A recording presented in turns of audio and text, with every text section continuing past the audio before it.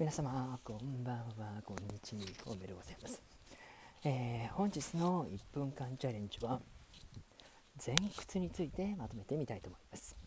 それでは前屈について1分間チャレンジスタートです、えー、前屈についてなんですが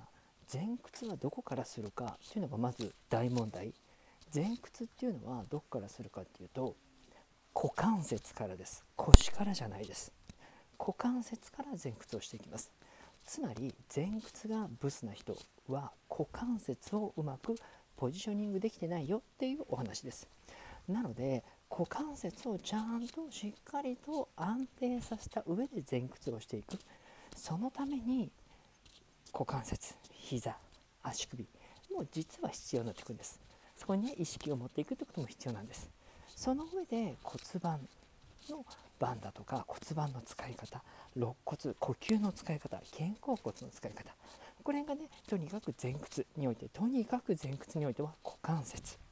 そして骨盤。腰回り肋骨の下の方。この辺りがね非常に大切なポイントになるので是非覚えておいてください。そんなワークショップを、えー、10,